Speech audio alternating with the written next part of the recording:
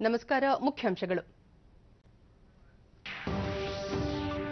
ಪ್ರಸಕ್ತ ಶೈಕ್ಷಣಿಕ ವರ್ಷದಿಂದಲೇ ಸಾಮಾನ್ಯ ವರ್ಗದ ಆರ್ಥಿಕ ದುರ್ಬಲರಿಗೆ ಶೇಕಡ ಹತ್ತರಷ್ಟು ಮೀಸಲು ಸೌಲಭ್ಯ ಅನುಷ್ಠಾನ, ಪ್ರಕಾಶ್ ಜಾವಡೇಕರ್. ರಾಜ್ಯಗಳ ಸರ್ಕಾರಿ ಶಿಕ್ಷಕರು, ಶೈಕ್ಷಣಿಕ ಸಂಸ್ಥೆಗಳ ಸಿಬ್ಬಂದಿಗೆ ಏಳನೇ ಕೇಂದ್ರೀಯ ವೇತನ ಆಯೋಗ ವಿಸ್ತರಣೆ ಪ್ರಸ್ತಾವನೆಗೆ ಕೇಂದ್ರ ಅನುಮೋದನೆ. ರಾಜ್ಯದಲ್ಲಿ ಸಮ್ಮಿಶ್ರ ಸರ್ಕಾರ ಸುಭದ್ರ. ಅಗತ್ಯ ಬೆಂಬಲದ ಸಂಖ್ಯೆ ನಮಗಿದೆ. ಮುಖ್ಯಮಂತ್ರಿ ಎಚ್ಡಿ ಕುಮಾರಸ್ವಾಮಿ ಪ್ರತಿಪಾದನೆ. ಕಾಫಿ ಉದ್ಯಮದ ಸಮಸ್ಯೆ ನಿವಾರಣೆಗೆ ಪ್ರಯತ್ನ. ಕೇಂದ್ರದ ಬಳಿಗೆ ನಿಯೋಗ ಸಚಿವ ಕೆಜೆ ಜಾರ್ಜ್.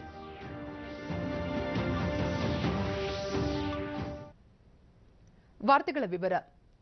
ಸಾಮಾನ್ಯ ವರ್ಗದ ಆರ್ಥಿಕ ದುರ್ಬಲರಿಗೆ ಕೇಂದ್ರ ಸರ್ಕಾರ ಶಿಕ್ಷಣ ಮತ್ತು ಉದ್ಯೋಗದಲ್ಲಿ ಜಾರಿಗೆ ತಂದಿರುವ ಶೇಕಡ ಹತ್ತರಷ್ಟು ಮೀಸಲಾತಿ ಸೌಲಭ್ಯವನ್ನು ಪ್ರಸ್ತುತ ಶೈಕ್ಷಣಿಕ ವರ್ಷದಿಂದಲೇ ಜಾರಿಗೆ ತರಲಾಗುವುದು ಎಂದು ಕೇಂದ್ರ ಮಾನವ ಸಂಪನ್ಮೂಲ ಅಭಿವೃದ್ಧಿ ಖಾತೆ ಸಚಿವ ಪ್ರಕಾಶ್ ಜಾವಡೇಕರ್ ಹೇಳಿದ್ದಾರೆ इसी वर्ष से ये लागू होने के लिए त्वरित सभी विश्वविद्यालयों को सूचना दी जाएगी और उनके प्रोस्पेक्टस में ये डाला जाएगा कि 10 फीसदी आरक्षण सो गवर्नमेंट ಎರಡು ಸಾವಿರದ ಹತ್ತೊಂಬತ್ತು ಇಪ್ಪತ್ತರ ಶೈಕ್ಷಣಿಕ ವರ್ಷದಲ್ಲಿ ದೇಶದ ಒಂಬೈನೂರು ವಿಶ್ವವಿದ್ಯಾಲಯಗಳು ಮತ್ತು ನಲವತ್ತು ಸಾವಿರ ಕಾಲೇಜುಗಳಲ್ಲಿ ಈ ಸೌಲಭ್ಯ ಜಾರಿಗೆ ಬರಲಿದ್ದು ಪರಿಶಿಷ್ಟ ಜಾತಿ ಪರಿಶಿಷ್ಟ ವರ್ಗ ಮತ್ತು ಹಿಂದುಳಿದ ವರ್ಗಗಳ ಮೀಸಲಾತಿಗೆ ಧಕ್ಕೆಯಾಗದಂತೆ ಹೊಸ ಮೀಸಲು ಪದ್ಧತಿಯನ್ನು ಅನುಷ್ಠಾನಕ್ಕೆ ತರಲಾಗುವುದು ಎಂದಿದ್ದಾರೆ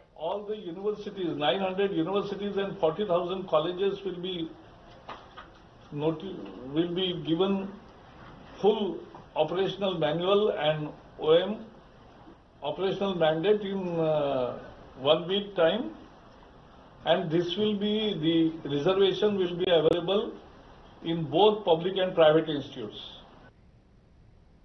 ರಾಜ್ಯಗಳ ಸರ್ಕಾರಿ ಶಿಕ್ಷಕರು ಹಾಗೂ ಇತರೆ ಶೈಕ್ಷಣಿಕ ಸಂಸ್ಥೆಗಳ ಸಿಬ್ಬಂದಿಗೆ ಏಳನೇ ಕೇಂದ್ರೀಯ ವೇತನ ಆಯೋಗವನ್ನು ವಿಸ್ತರಿಸುವ ಪ್ರಸ್ತಾವನೆಗೆ ಕೇಂದ್ರ ಸರ್ಕಾರ ಅನುಮೋದನೆ ನೀಡಿದೆ ಸರ್ಕಾರದ ಅಧೀನದಲ್ಲಿ ಬರುವ ಪದವಿ ಮಟ್ಟದ ತಾಂತ್ರಿಕ ಸಂಸ್ಥೆಗಳ ಸಿಬ್ಬಂದಿಗೂ ಇದು ಅನ್ವಯವಾಗುತ್ತದೆ. ಇದರಿಂದ ಕೇಂದ್ರ ಸರ್ಕಾರದ ಬೊಕ್ಕಸಕ್ಕೆ ಒಂದು ಸಾವಿರದ ಇನ್ನೂರ ನಲವತ್ತು ಕೋಟಿ ರೂಪಾಯಿಗಳಷ್ಟು ಹೊರೆಯಾಗಲಿದೆ. ಇಪ್ಪತ್ತೊಂಬತ್ತು ಸಾವಿರ ಶಿಕ್ಷಕರು ಮತ್ತು ಸರ್ಕಾರಿ ಅನುದಾನಿತ ಕಾಲೇಜು ಹಾಗೂ ಇತರೆ ಶೈಕ್ಷಣಿಕ ಸಂಸ್ಥೆಗಳ ಸಿಬ್ಬಂದಿ ಈ ಸೌಲಭ್ಯವನ್ನು ಪಡೆಯಲಿದ್ದಾರೆ ಎಂದು ಅಧಿಕೃತ ಪ್ರಕಟಣೆ ತಿಳಿಸಿದೆ ಕೇರಳದ ಬಹುನಿರೀಕ್ಷಿತ ಕೊಲ್ಲಂ ಬೈಪಾಸ್ ಅನ್ನು ಪ್ರಧಾನಿ ನರೇಂದ್ರ ಮೋದಿ ದೇಶಕ್ಕೆ ನಿನ್ನೆ ಸಮರ್ಪಿಸಿದರು. ರಾಷ್ಟ್ರೀಯ ಹೆದ್ದಾರಿ ಅರವತ್ತಾರರಲ್ಲಿ ಮೇವಾರಂನಿಂದ ಕವನಾಡಿಗೆ ಸಂಪರ್ಕಿಸುವ ಹದಿಮೂರು ಕಿಲೋಮೀಟರ್ ಉದ್ದದ ರಸ್ತೆ ಇದಾಗಿದ್ದು, ಇದರಿಂದ ತಿರುವನಂತಪುರಂ ಮೂಲಕ ಕೇರಳದ ವಿವಿಧ ಭಾಗಗಳಿಗೆ ತೆರಳಲು ಅನುಕೂಲವಾಗುತ್ತದೆ historic moments for Kerala and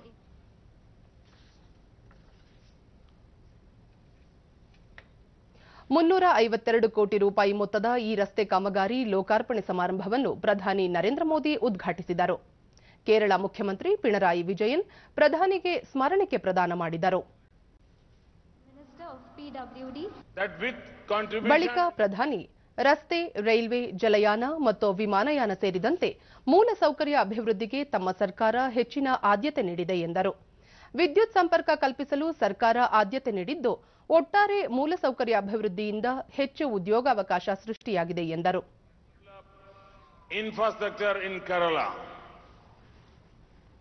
under Bharat Mala the detailed project report for the Mumbai Kanyakumari corridor is under preparation many such projects are in various stages of development In our country, we have often seen that infrastructure projects get stalled after ಗುಣಮಟ್ಟದ. ಯೋಜನೆಗಳ ಶೀಘ್ರ ಅನುಷ್ಠಾನಕ್ಕೆ ಆದ್ಯತೆ ನೀಡಲಾಗಿದ್ದು ಪ್ರಗತಿ ಸಭೆಯ ಮೂಲಕ ಇದನ್ನು ಖಾತ್ರಿಪಡಿಸಲಾಗಿದೆ ಪ್ರತಿ ತಿಂಗಳು ಪ್ರಗತಿ ಪರಿಶೀಲನಾ ಸಭೆ ನಡೆಸಲಾಗುತ್ತಿದ್ದು ಇದುವರೆಗೆ ಹನ್ನೆರಡು ಲಕ್ಷ ಕೋಟಿ ರೂಪಾಯಿ ಮೌಲ್ಯದ ಇನ್ನೂರ ಐವತ್ತು ಯೋಜನೆಗಳನ್ನು ಪರಾಮರ್ಶಿಸಲಾಗಿದೆ ಹಿಂದಿನ ಸರ್ಕಾರಗಳ ಅವಧಿಯಲ್ಲಿ ಎರಡು ಮೂರು ದಶಕಗಳಾದರೂ ಪೂರ್ಣಗೊಳ್ಳದ ಯೋಜನೆಗಳನ್ನು ಕಾಲಮಿತಿಯಲ್ಲಿ ಪೂರ್ಣಗೊಳಿಸಲಾಗುತ್ತಿದೆ ಆ ಮೂಲಕ ಸಾರ್ವಜನಿಕರ ಹಣ ಪೋಲಾಗುವುದನ್ನು ತಡೆಯಲಾಗಿದೆ ಎಂದು ಅವರು ಹೇಳಿದರು more than 250 projects worth about 12 lakh crore rupees under Pragati.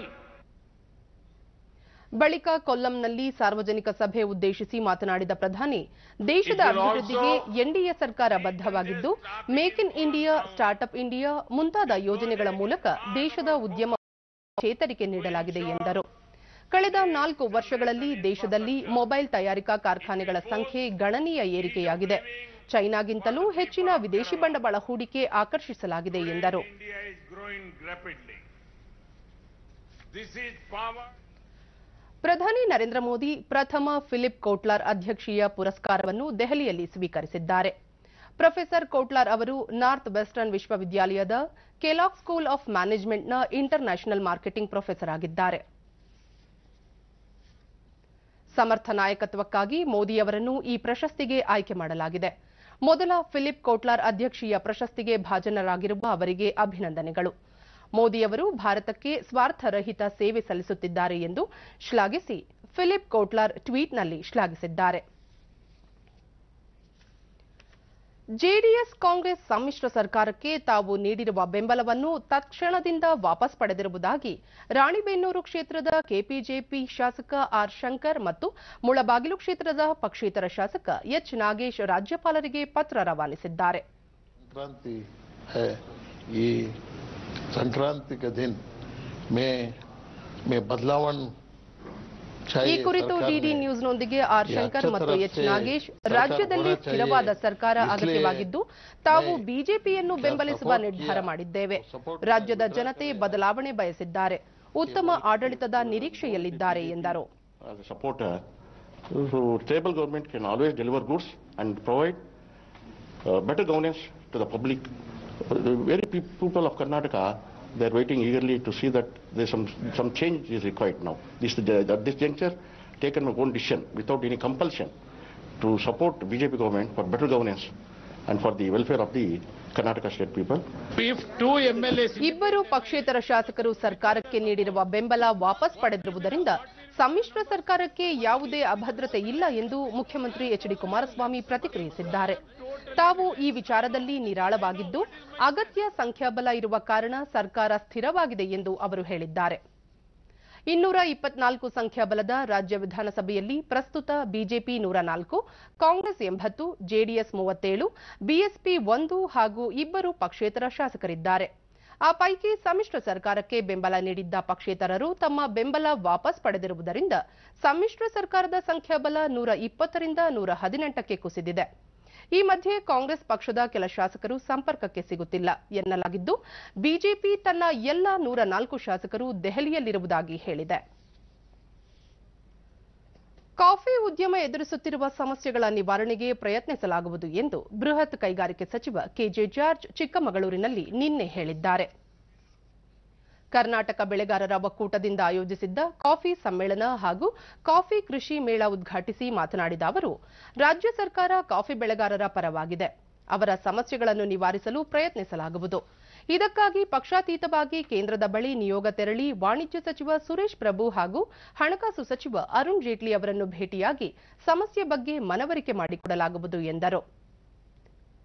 Coffee ಬೆಳೆಗಾರರ ಸಮಸ್ಯೆಗೆ ಕೇಂದ್ರ ಸರ್ಕಾರ ಸ್ಪಂದಿಸುವ ಅಗತ್ಯವಿದೆ.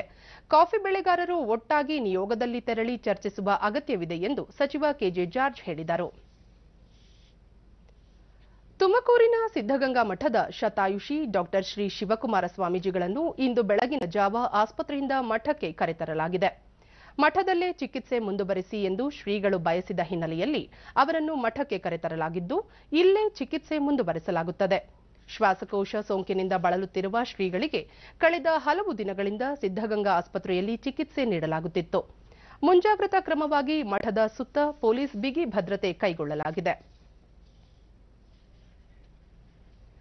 ಸಂಕ್ರಾಂತಿ ಹಬ್ಬದ ಹಿನ್ನೆಲೆಯಲ್ಲಿ ಬೆಂಗಳೂರು ಗ್ರಾಮಾಂತರ ಜಿಲ್ಲೆಯ ಆನೇಕಲ್ ತಾಲೂಕಿನ ಸೋಂಪುರ ಬಳಿ ನಿನ್ನೆ ವಿಶೇಷ ಕಡಲೆಕಾಯಿ ಪರಿಷೆ ಏರ್ಪಡಿಸಲಾಗಿತ್ತು.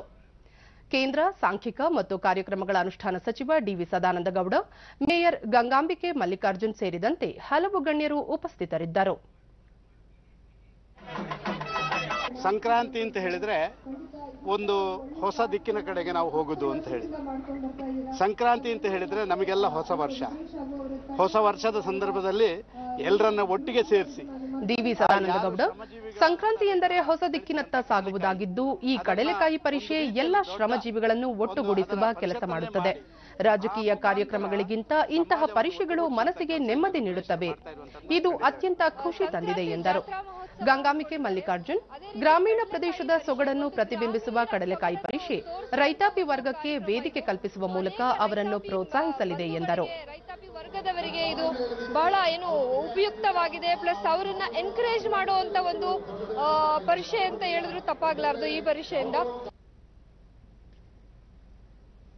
ಸಂಕ್ರಾಂತಿ ಹಬ್ಬದ ಹಿನ್ನೆಲೆಯಲ್ಲಿ ಬೆಂಗಳೂರು ಗ್ರಾಮಾಂತರ ಜಿಲ್ಲೆ ಹೊಸಕೋಟೆಯಲ್ಲಿ ಕರ್ನಾಟಕ ವೈನಿಕುಲ ಕ್ಷತ್ರಿಯ ತಿಗಳ ಸಂಘ ಮತ್ತು ಲಯನ್ಸ್ ಯೋಗದಲ್ಲಿ ನಿನ್ನೆ ರಾಸುಗಳ ರ್ಯಾಂಪ್ ಶೋ ನಡೆಯಿತು ಪ್ರಥಮ ಸ್ಥಾನ ಗಳಿಸಿದಂತ ಹಸು ದಯವಿಟ್ಟು ಎಷ್ಟು ಚಪ್ಪಾಳೆ ಹೊಡೆದ್ರು ಕಡಿಮೆನ ಹೊಡಿರಿ ಚಪ್ಪಾಳೆ ಎರಡು ಸುಮಾರು ಎರಡು ಸಾವಿರ ಹಸು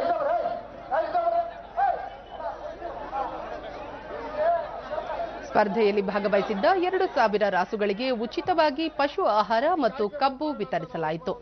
ಸಂಘದ ಅಧ್ಯಕ್ಷ ಜಯರಾಜ್, ಪಶುಗಳನ್ನು ಉಳಿಸುವ ನಿಟ್ಟಿನಲ್ಲಿ ಕಳೆದ ಇಪ್ಪತ್ತು ವರ್ಷಗಳಿಂದ ಈ ಕಾರ್ಯಕ್ರಮ ನಡೆಸಿಕೊಂಡು ಬರುತ್ತಿದ್ದು, ಉತ್ತಮ ಸ್ಪಂದನೆ ವ್ಯಕ್ತವಾಗಿದೆ ಎಂದರು. ಸುಮಾರು ಒಂದು ಇಪ್ಪತ್ತು ವರ್ಷದಿಂದ ಈ ಕಾರ್ಯಕ್ರಮನ ಮಾಡ್ಕೊಂಡು ಬರ್ತಾ ಇದ್ದೀವಿ. ಕಾರ್ಯಕ್ರಮ ಮಾಡ್ತೀವಿ, ಆದ್ರೆ ಈ ಹಸುಗಳ ಕಾರ್ಯಕ್ರಮ ಮಾಡಿದಾಗ ನಮ್ಗೆ ನಮ್ಮ ತಾಯಿನ ಎಷ್ಟು ಚೆನ್ನಾಗಿ ನೋಡ್ಕೊಂತೀವೋ ಅಷ್ಟು ಖುಷಿ ಆಗುತ್ತೆ, ಅಷ್ಟು ಸಂತೋಷ ಆಗುತ್ತೆ.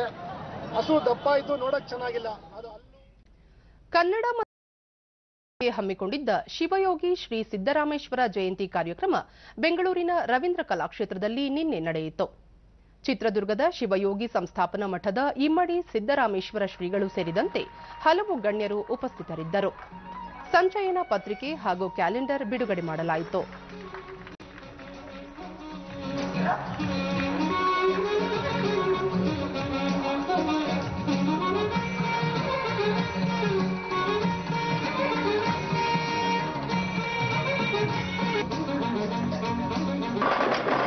ವಿವಿಧ ಜಾನಪದ ಕಲಾತಂಡಗಳಿಂದ ಕಲಾ ಪ್ರದರ್ಶನ ನಡೆಯಿತು.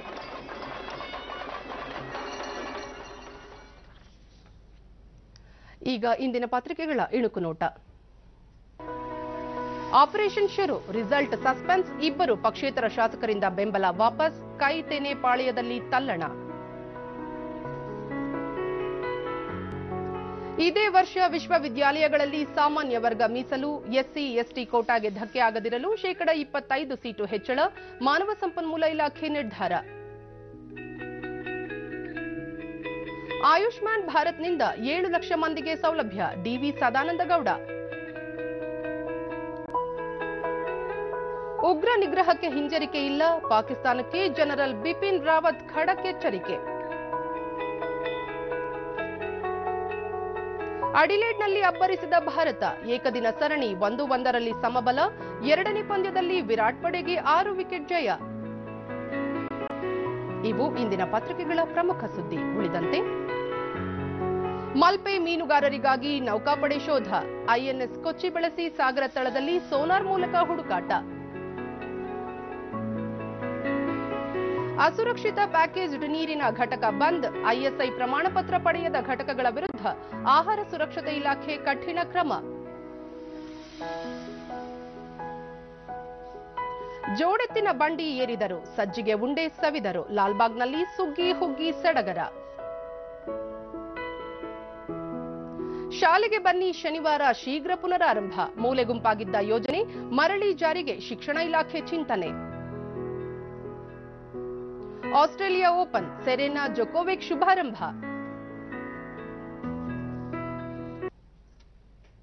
ಕೊನೆಯಲ್ಲಿ ಮತ್ತೊಮ್ಮೆ ಮುಖ್ಯಾಂಶಗಳು. ಪ್ರಸಕ್ತ ಶೈಕ್ಷಣಿಕ ವರ್ಷದಿಂದಲೇ ಸಾಮಾನ್ಯ ವರ್ಗದ ಆರ್ಥಿಕ ದುರ್ಬಲರಿಗೆ ಶೇಕಡ ಹತ್ತರಷ್ಟು ಮೀಸಲು ಸೌಲಭ್ಯ ಅನುಷ್ಠಾನ, ಪ್ರಕಾಶ್ ಜಾವಡೇಕರ್.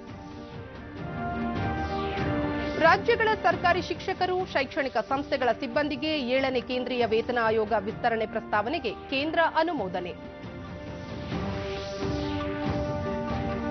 ರಾಜ್ಯದಲ್ಲಿ ಸಮ್ಮಿಶ್ರ ಸರ್ಕಾರ ಸುಭದ್ರ, ಅಗತ್ಯ ಬೆಂಬಲದ ಸಂಖ್ಯೆ ನಮಗಿದೆ, ಮುಖ್ಯಮಂತ್ರಿ ಎಚ್ಡಿ ಕುಮಾರಸ್ವಾಮಿ ಪ್ರತಿಪಾದನೆ. ಉದ್ಯಮದ ಸಮಸ್ಯೆ ನಿವಾರಣೆಗೆ ಪ್ರಯತ್ನ, ಕೇಂದ್ರದ ಬಳಿಗೆ ನಿಯೋಗ, ಸಚಿವ ಕೆಜೆ ಜಾರ್ಜ್.